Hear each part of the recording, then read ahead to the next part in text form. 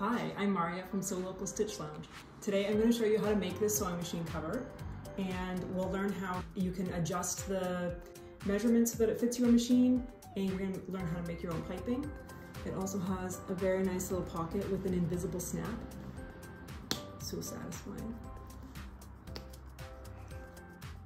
So here are the supplies I'll be using for the sewing machine cover. I've got a piece of canvas, you may have two pieces of canvas if your fabric is the measuring tape fabric. And you'll also have a piece of quilting cotton for the lining of the pocket and a piece of quilting cotton that is cut into bias strips that's gonna cover your piping. Then you'll have some piping cord, some thread, and a set of magnetic snaps. And these are gonna be invisible. You won't see them inside and then you've got your instructions and other things you're going to need are either a zipper foot or a piping foot and scissors, pins, clips, measuring tape, all that good stuff. Okay, so now I'm going to measure the sewing machine and you'll want to do this to just double check and see if you need to alter the dimensions at all. And so I'm going to go across the front and my sewing machine is about 15 inches, which is very average for a medium sized sewing machine. At the back, it is slightly bigger. It goes to about 15 and a half and we also need the height. And I've got 10 and 3, right around 11 inches tall. And then the depth, I have 6 and 3 quarters of an inch. Here's how I figured out my cutting width. So I started with the measurement from the machine and I did it in centimeters because centimeters are so much easier to add than fractions and inches. So yay metric. I wanted a couple centimeters of wiggle room for putting the cover on. I didn't want it to be super tight, so I added two centimeters of extra room and then two centimeters for seam allowance, one centimeter on either side. So that ends up with 43 centimeters total cutting width. So to figure out the height for the front and back of the sewing machine cover, I started with the machine height, which is 28 centimeters. I added seam allowance of just one centimeter because there's only one seam at the top. And then at the bottom we do have a hem. So I'm just gonna do a two centimeter hem. So that gives me a total of 31 centimeters. For the gusset, we need to know the machine depth, which is 17 and a half centimeters. We'll give it some extra room for two centimeters, and then we need two centimeters of seam allowance, and that brings us to 21 and a half centimeters. To figure out the length of the gusset, we need to go up the side, across the top, and down the other side. So that means we need the height times two, we need the width, and then we also need to add hems on either end. So we need two hems as well, and that was two centimeters each. So that total comes up to 109 centimeters. So we can go a little bit longer than that. It's always good to have a little bit of extra in your gusset, and then you can always just trim it off later.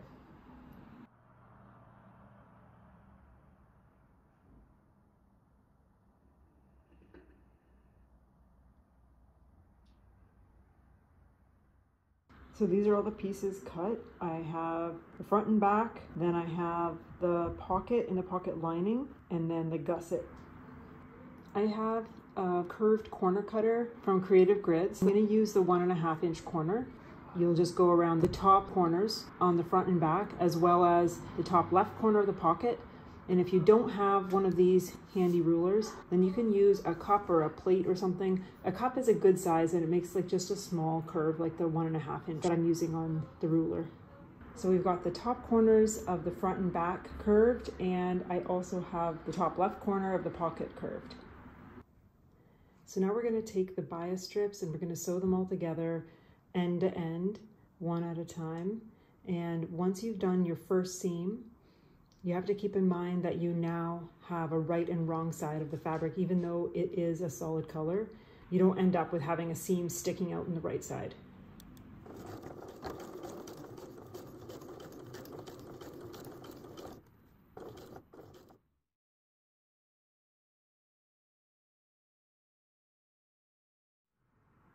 Okay, so now we're ready to make the piping. And if you haven't done this before, it's pretty easy.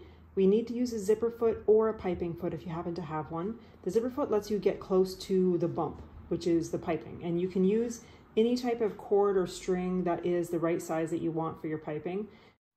So I'm all ready to start sewing the piping. I have the cord tucked into the wrong side of the piping And I just put one pin because I'm gonna be adjusting it as I go. We'll just be lining up the two raw edges and sewing as close as we can to the cord.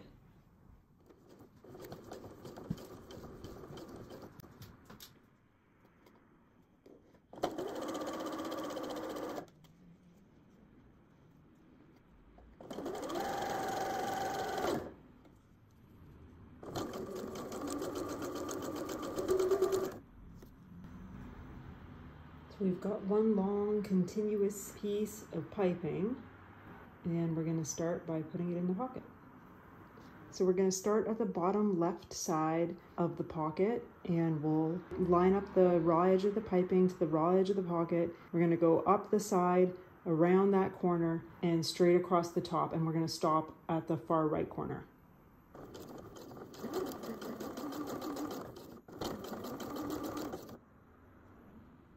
So to go around that corner, I clipped into the seam allowance of the piping and that allows it to spread open and it goes around really smoothly. We're trying to sew on the same stitching line that you sewed the piping together with.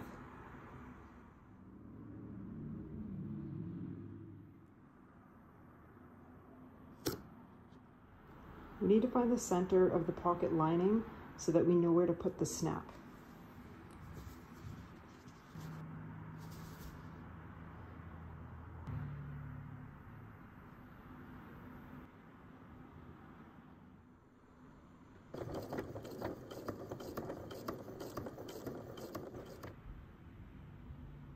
So we're going to place the pocket lining right sides together with the pocket front and then we're going to sew where the piping is again.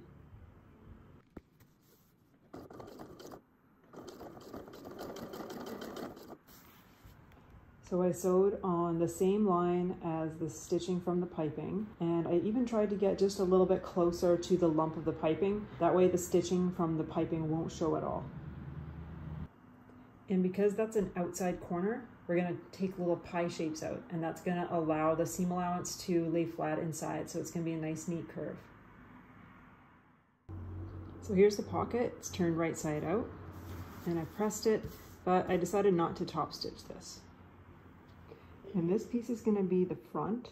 So now I'm gonna place the pocket in the bottom right corner. We now need to mark the spot where the snap is so that we can put the other half of the snap underneath the pocket so that it lines up. I'm going to stick a pin through the fabric so that I can see where I need to mark on the back of the front piece.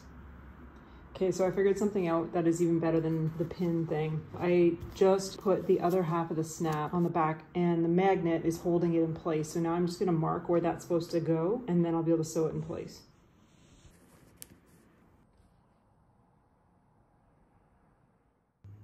Now we're gonna sew both sides and the bottom.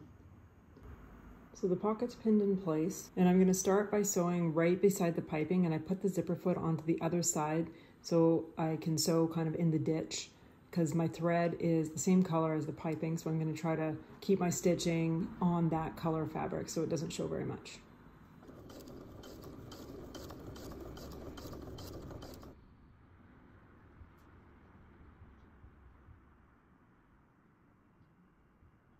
I stopped sewing somewhere around this corner. I can't even tell where it is. Now we're gonna attach piping to the front and back pieces, and I'm gonna do it basically the same as I did with the pocket, but I am gonna leave about an inch space at the bottom without piping, just so that it will be easier to hem. And I'll just show you how I do. I'm just gonna kind of pull it out to the side when I sew. So you can see how the piping is sort of pulled out to the side. And when I start sewing, I'm gonna sew over the lump of the piping and then I'll start sewing on the same stitch line. And you can clip the seam allowance of the piping so that it will ease around the corner.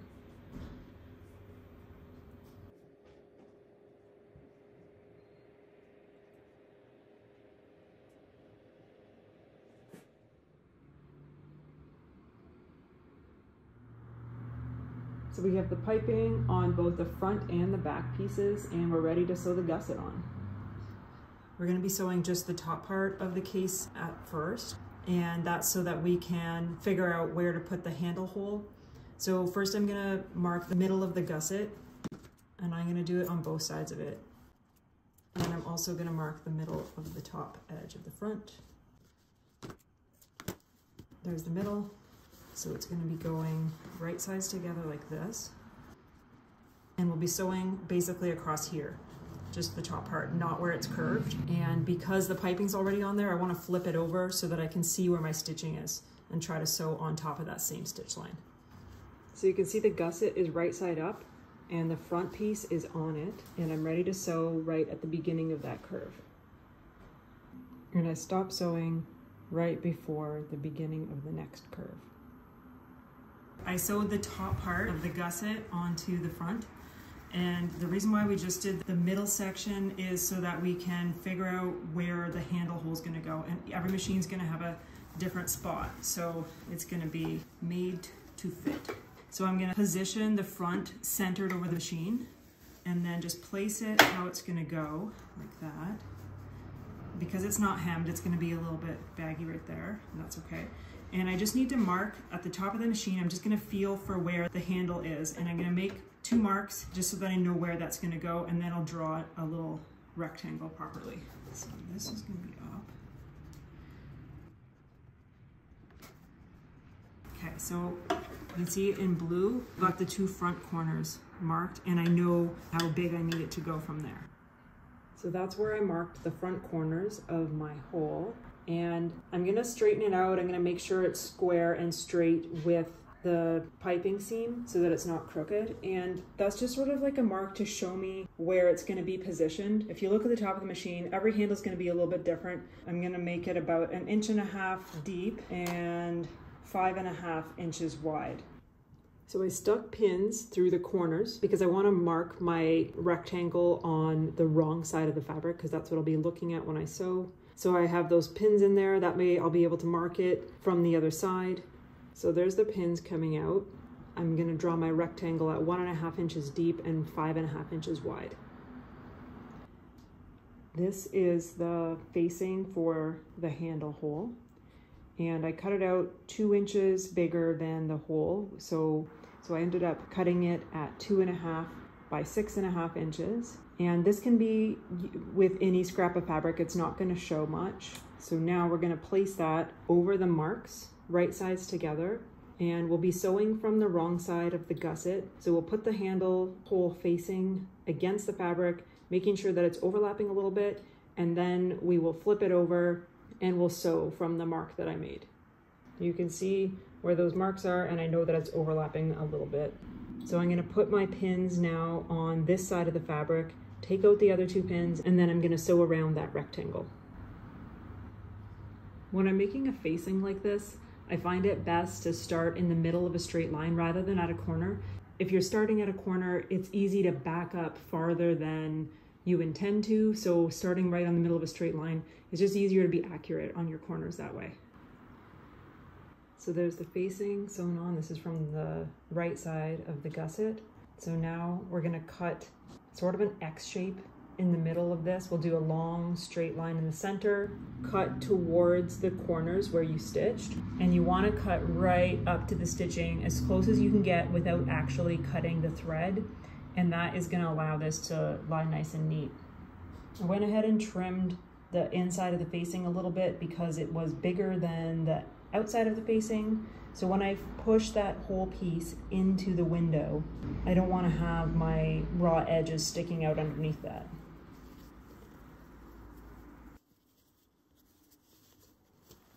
So you can see we've got three pretty nice corners and then one that's really puckered and I'm gonna go back in and just clip a little bit closer to the stitching so that that can lay flat.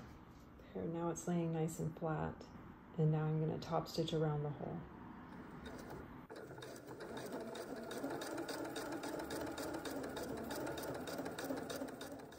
So now it's time to finish the seam where we started sewing the middle part of the gusset.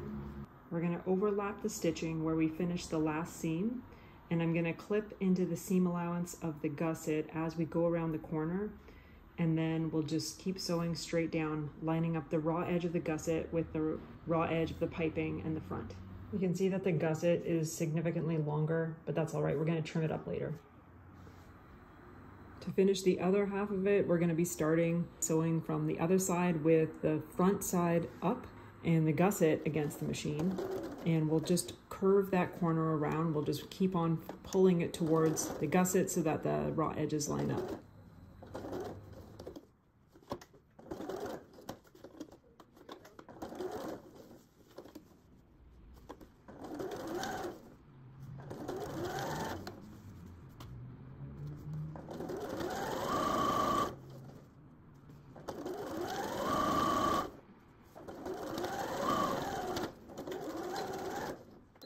So I've got the whole gusset on attached to the front. And before we put the back piece on, we're gonna mark where the corners are gonna hit so that they match up the same on the front and the back. So I'm just gonna kind of pull it straight up like this and you can crease it by just finger pressing or you can do a little mark. We need that on both sides.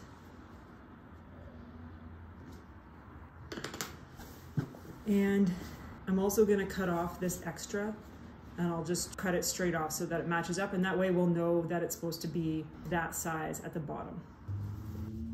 Okay, so you're gonna be matching up the center of the gusset with the center of the back and the corners and the bottom seam. You may need to move the corner around, but just slowly add pins and adjust as you need to.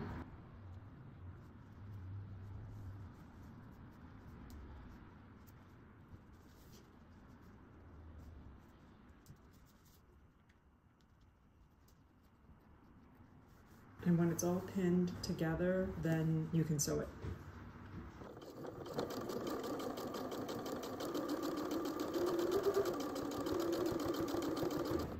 When you're done that seam, then you can take a look at your seams, turn it right side out and check and see if there's any spots where the stitching is showing beside the piping. If you wanna fix it, you can go back in and just sew that seam again and just try to get a little bit closer to the piping.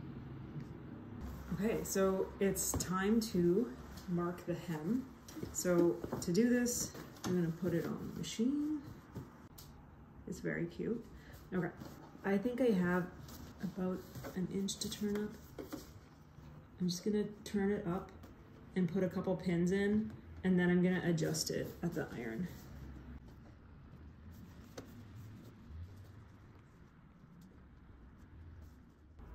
Before I pressed the hem, I went in and trimmed down the piping at the seam just to get rid of some of the bulk in there. So I've pressed it and pinned it and I just did a second check.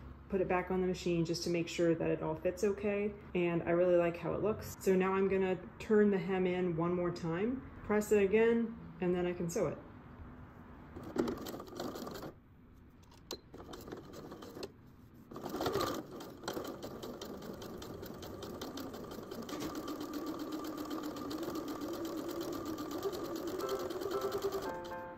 So I finished the hem.